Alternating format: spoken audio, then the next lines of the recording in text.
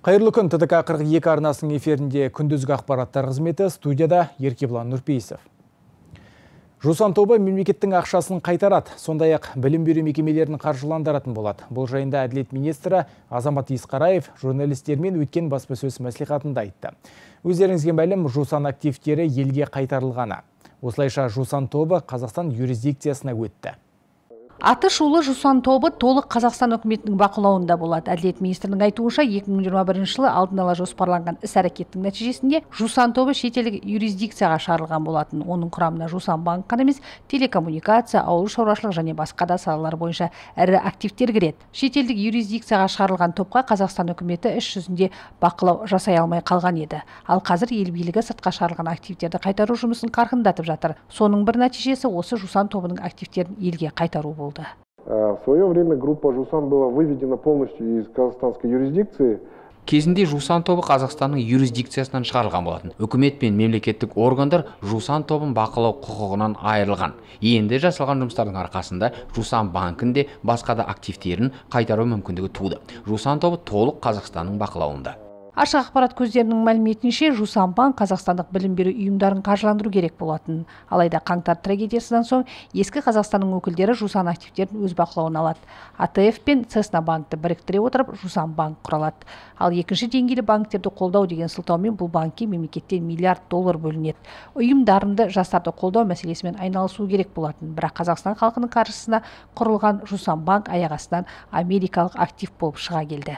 Қазақстандықтар қордың қамқоршылық кеңесінен шығарылды. Осылайша мемлекеттік субсидия жекелеген адамдардың қолында кете берді. Енді әділет министрі тиісті келісімдерге қол қойылып тараптар өз міндеттемелерін орындайтын болды дейді. Яғни мемлекеттен алған ақшасын қайтарып береді.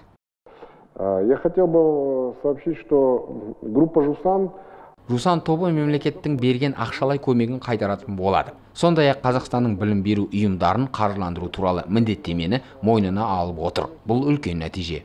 Алайда министр аталмыш банкті қолдауға берілген қазына қаржысының көлемін нақтыламады. Кейбір деректерге сүйенсек елімізде 2017 жылы 5 триллион теңге банктерді сауықтыруға жұмсалған. Оның бір жарым триллионы сол кездегі цесна банк қазіргі жусанға бұйырды. Бұл жеңілдетілген займдар ғана емес проблемалық несиелер болатын. Ал проблемалы несиелер алтыдан он есеге қымбатқа сатып алынған. Баспасөз мәслихаты барысында әділет министріне тілшілер шетелге заңсыз капитал шығарғандардың тізімі ашық бола ма деген сұрақ қойды. Исқараев ашық тізім жарияланбаған дұрыс деп санайды. Жалған ақпарат тарап кетуі де мүмкін олардың инвестициялық ахуалына әсер етуі де мүмкін. Мәселен кейін азамат активтердің заңды түрде шыққанын дәлелдей алып жатса теріс әсер етеді. Сол себепті жабық түрде болған дұрыс деп санайды министр. Әселім қалкен ахмедияр ілиясов тдк қыркүйек телеарнасы астанадан. Ақжол партиясының фракция депутаттары үкіметтен жеңілдетілген 4 пайызбен автонесие беруді жалғастыруды талап етті. Ақжолдықтар премьер-министрдің орынбасары Роман Скляарға жолдаған сауалда қазір жасылдаму азаматтар мен бизнестен өтел алым алуды жалғастырып жатқанын айтты. Сондай ақ кәсіпкерлердің мәліметінше қазіргі оператор кәсіпорын жұмысының тоқтауы мен тергеудің жүріп жатқанын сылтау етіп, 4 ай бойы өндірушілерге түскен қаржыны үлестірмеген. Алайда бұл оның өзіне жоқ өтел алымды жинауына еш кедергі келтірмей отыр. Сондықтан аты шулы өтел алымнан түсіп жатқан миллиардтаған қаржы тағы қайда кетіп жатыр деген мәселені алға тартты. Аты шулы жеңілдетілген автонесие тоқтатылады деген хабар қазақстандықтарды алаңдатып қойды. Себебі төрт пайызбен көлік алуға ниеттеніп отырғандар қаншама. Индустрия және инфрақұрылымдық даму министрлігінің бұл шешімін ақ жол партиясы қолдамайды. Партия фракциясының мәжілістегі депутаттары үкіметке сауал жолдап бұрынғы оператор роп қазіргі жасыл даму компаниясының әрекетіне қатысты мәселе көтерді. Мәжілісмен ержан бейсенбаевтың айтуынша оператор роп жауапкершілігі шектеулі серіктестік түріндегі олигополия қатысушыларына қатысты резонансты сот процесі жүріп жатса да кәсіпкерлерге экология департаменттері 2019-21 жылдарға арналған утилизация төлемдерін төлемегені үшін әкімшілік айыппұл салып жатыр. Депутат мұндай өндіріп алу заңсыз дейді. Себебі жасыл даму компаниясы реквизиттері оларға тек 2023 жыл ғана берілген. Ал утилизация төлемдері талап арыздар қойылғанға дейін төленіп қойған. Оған қоса олар президенттің тексерулер жүргізуге мораторий енгізу туралы жарлығын бұзып отыр. Бүгінгі күні осы негіз бойынша 690-нан астам кәсіпкерлік субъектісі жауапкершілікке тартылған деген ақпарат бар. Однако акционерное общество «Жасылдаму» продолжает вызывать утилизбор с бизнеса и граждан. Алайда утилизация жүргізіліп жатпағанымен жасыл даму азаматтар мен бизнестен утил алым алуды жалғастырып келеді. Сондай ақ кәсіпкерлердің мәліметінше қазіргі оператор кәсіпорын жұмысының тоқтауы мен тергеудің жүріп жатқанын сылтау етіп төрт ай бойы өндірушілерге түскен қаржыны үйлестірмеген. Алайда бұл оның өзіне жоқ утил алымды жинауына еш кедергі келтірмей отыр. Сондықтан аты шулы утил алымнан түсіп жатқан миллиардтаған қаржы тағы қайда кетіп жатыр деген сауал туындайды.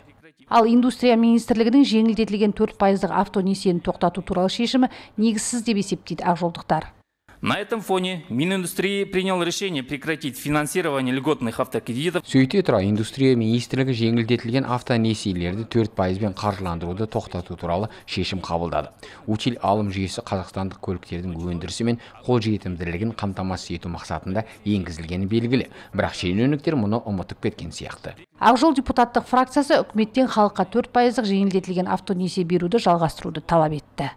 Продолжить автокредитование под 4%. әкімшілік құқық бұзушылық фактісі анықталғанға дейін утиль алым төлемін төлеген кәсіпкерлерді әкімшілік қудалауды тоқтату оларға қолданылған санкцияларды оның ішінде ескертулерді жоюды төрт пайыздық мөлшерлемесімен автонесие беруді жалғастырып осы мақсаттарға утиль алымның пайдаланылмаған қаражаттарын қосымша бөлуді сұраймыз еске сала кетейік индустрия министрлігі жеңілдетілген автонесиеден жиналған қаражатты қоғамдық көліктерді сатып алуға бағыттамақшы. Аталмыш автонесие енгізілгелі 13 мың қазақстандық көлік алды.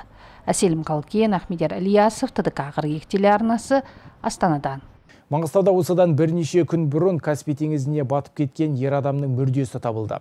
Ақтау қаласынан 22 шақырым жерде орналасқан Шура су каналына шомылған 1999 жылы туған жергілікті тұрғынның теңіздің құрбаны болды. Іздестіру жұмыстарына төтенше жағдай департаментінің 8 қызметкерлері, екі бірлік техника, екі қайық жұмылдырылды. Еске салайық 24 жастағы жігіт 17 маусымда суға батып кеткен. Ол суға түсуге жабдықталмаған жерде шомылған. Құтқарушылар облыс тұрғындары мен қонақтарға қауіпті аумақта суға түспеуді және балаларды теңіз жағасында қараусыз қалдырмауды ескертеді.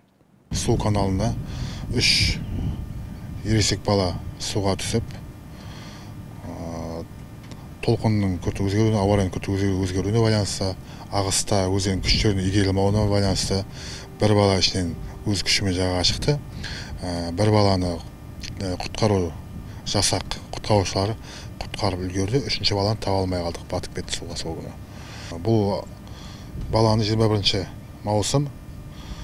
Кешкі сағат жиырма нөл нөлде жағадан екі жүз метр жерде тереңдігі үш метр болатын су астынан жасақ сүңгуірлер тауып алып шықты. Ол адам мәйіті керекті органдарға тапсырылды. Ақтөбе облысындағы қайғылы төтенше жағдай орын алды. Кеңқияқ ауылында кәріз сорғы станциясында газ ауа қоспасы жарылды. Салдарынан 48 жастағы жұмысшы қатты күйік алды санавиациядан зардап шеккен адам шұғыл түрде облыс орталығына жеткізілді. Алайда дәрігерлерге оның өмірін сақтап қалу мүмкін болмады. Оқиғаның егжей тегжейін айдос мәлікұлы айтады. Қайғылы оқиға кеше кешкісін кеңқияқтың шетіндегі осы кәріз сорғы станциясында болды. Газ ауа қоспасының жарылысынан кейін оператор ауруханаға түсті. Оның денесінің 95 пайызын күйік шалған. Сағат 11 шамасында кеңқияқ ауылдық ауруханасында канализациялық сорғылау станциясында 1975 жылы туылған азаматшаның денесінің күйік шалғандығы туралы хабарлама келіп түсті. Төтенше жағдайдың себебін тергеу анықтайды. Бірақ алдын ала әкімдік мәлім еткендей қызметкер станцияға темекімен кірді деп мәлімдеді. Онда метан жиналып жарылыс пайда болған шығар дейді. Енді тәжірибелі оператор жабық резервуарда метан жиналатынын біле тұра мұндай немқұрайлылыққа жол бергенін анықтау керек. Осы факті бойынша полицияда тергеу амалдары жүргізілуде. Әкімдікте өрт техникалық сараптаманың нәтижелері күтілуде. Төтенше жағдайдың алдын ала себебі қауіпсіздік шараларын сақтамау. Қазір станция штаттық режимде жұмыс істейді. Айдос ашкенов жомарт құдайбергенов аймұрат жағыппар тдк ақыркек телеарнасы ақтөбе облысынан. Шетелдік отбасы ақтөбе облысындағы тас жолда апатқа ұшырады. Көлік өзен үстіндегі көпірде аударылған. Оқиға қобда ауданындағы самбара шымкент автожолының 633 шақырымында болды. Полицейлердің мәліметінде Hyundai Starex көлігінің жүргізушісі рөлге ие бола алмаған. Екі жолаушы оның ішінде 15 жасар қыз бала оқиға орнында қайтыс болды. Жалпы көлікте 8 адам болыпты. И 6 пассажиров доставлено в район. алты жолаушы аудандық ауруханаға жеткізілді. Олардың барлығы тәжікстан азаматтары. Алдын ала тексеру бойынша жүргізушінің көлік құралын шаршаңқы күйде басқарғаны анықталды. Батыс Қазақстан облысында қураған ағаштарды тазалауға жұмысшылар жетіспейді деп хабарлады Орман шаруашылығы және жануарлар дүниесі басқармасының өкілдері. Облыстағы мемлекеттік орман қоры жалпы 28 мың гектарды гектар ауданды құрайды. Оның 15 мың гектарын тоғай алып жатыр. Тұрғын үйлердің көпшілігі көгілдір отынмен қамтылғандықтан ағаштарды отын ретінде пайдалану азайды. Сондықтан қураған ағаштар саны көбейіп кеткен, ал бұл тілсіз жаудың қауіптілігін арттырған. Орман шаруашылығы және жануарлар дүниесі бөлімінің мамандары қураған ағаштарды тазарту жұмыстарын жүргізуге мамандар мен техника жетіспейтінін айтады. Сондай ақ мекемеге жұмысшыларды қаржыландыратын қаражат жетіспейтін көрінеді. Жұмыстарды орындау мүмкіндік туғызбай отыр. Себебі бұл жұмыстардың барлығына жаңағы мемлекет тарапынан қаражат бөлінбей отыр. Біздерге мемлекеттік өзіміздің мекемемізде төрт орман кесу бригадасы болу керек. Және де көптеген соған байланысты техникаларымыз болу керек. Қазіргі таңда бізде ондай бригадалар жоқ. Себебі біздің мемлекеттік мекеменің қызметкерлерінің жалақысы жетпіс мыңнан жүз мыңның арасында болып отыр. Сондықтан да осындай жұмыстарды атқаруға біздің мекемеге ешбір маман ешбір жұмысшы келмей отыр. Қаламыздың төтенше жағдайлар департаменті құтқарушылары балаларға өрт және судағы қауіпсіздік сабақтарын өткізуде. Әр бейсенбі сайын жедел құтқару жасағының базасында төтенше жағдайлар қызметінің мамандары мектеп оқушыларына өртпен жұмыс істеу кезіндегі қауіпсіздік, сондай ақ судағы өзін өзі ұстау ережелері және алғашқы медициналық көмек көрсету туралы түсіндірме жұмыстарын жүргізді. Өткен жылы облыстың су айдындарында 15 адам суға батып кеткен. Олардың алтауы балалар. Ағымдағы жылы су айдындарында адам өлімі тіркелген жоқ. Бұл ретте мамандар ата-аналарға балаларын қараусыз қалдырмауға қатаң кеңес береді бұл сабақтың негізгі мақсаты балаларға осы судағы өрттегі негізгі қауіпсіздік ережелерін жеткізу. Сондай ақ суда жаңағыдай өртте зардап шеккен адамдарға көмек көрсету құтқару сондай ақ алғашқы әргерге дейінгі дәрігерге дейінгі көмек әдістерін үйрету. Сондай ақ осы сабақ аясында балаларға авариялық құтқару техникалары мен құрал жабдықтары көрсетілуде. Сондай ақ балаларға түрлі ойын тренингтар жарыстар өткізіліп жаңағыдай қауіпсіздік ережелері жеткізілуде Оралда облысымыздың ірі өндірістік ошақтары кәсіпорындары мен мемлекеттік мекемелердің қатысуымен жастарға жұмыс бос жұмыс орындары жәрмеңкесі өтті. Аталмыш шараны жастар рухы жастар қанаты Батыс Қазақстан облысы филиалы мен қалалық ақпараттық талдау және жастармен жұмыс жөніндегі ресурстық орталығы ұйымдастырды халықты жұмыспен қамту орталығы мамандарының келтірген ақпаратына сәйкес орал қаласында 3752 адам жұмыссыздар есебіне алынған. 2023 жылдың 6 айында жұмысқа орналасу мәселесімен 7 мыңға жуық тұрғын жолығыпты. Оның 2700-і жұмысынан айырылған жағдайда төленетін әлеуметтік төлемдерді алуға өтініш берсе 2818 адам мемлекеттік қолдау шараларымен қамтылған. Одан өзге шаһар көлемінде өндіріс ошақтары және мемлекеттік мекемелердің қатысуымен жастарға бос жұмыс орындар жәрмеңкесі тұрақты негізде өткізіліп келеді. Кезекті шара мектеп түлектерін колледжге қабылдау жас мамандарды жұмысқа тарту мақсатында өтті. Бос жұмыс орындар жәрмеңкесінде елуден астам кәсіпорындар мен жұмыс беруші кәсіпорындар келіп қатысты.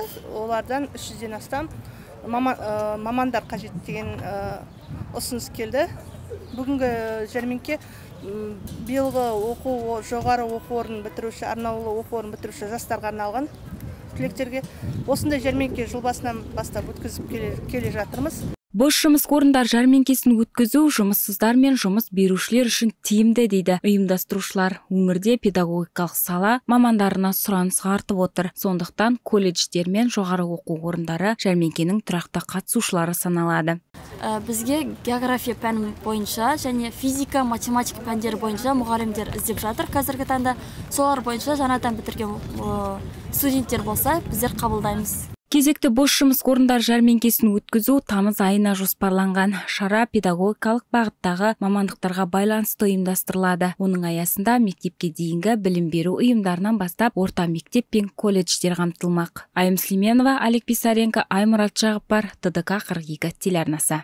Бүгінгі күннің жаңалықтар легі әзірге осы. Осы және өзге де ақпараттарды әлеуметтік желілерден немесе ТДК 42 нүкте kz сайтынан біле аласыздар. Келесі эфирде жүздескенше аман болайық. Жүргізушілерге киім үлгісін ұсынған купер дүкені. Купер ерлерге арналған киім дүкені сити центр сауда ойын сауық кешенінің үшінші қабатында және азия молл сауда ойын сауық орталығының бірінші қабатында орналасқан.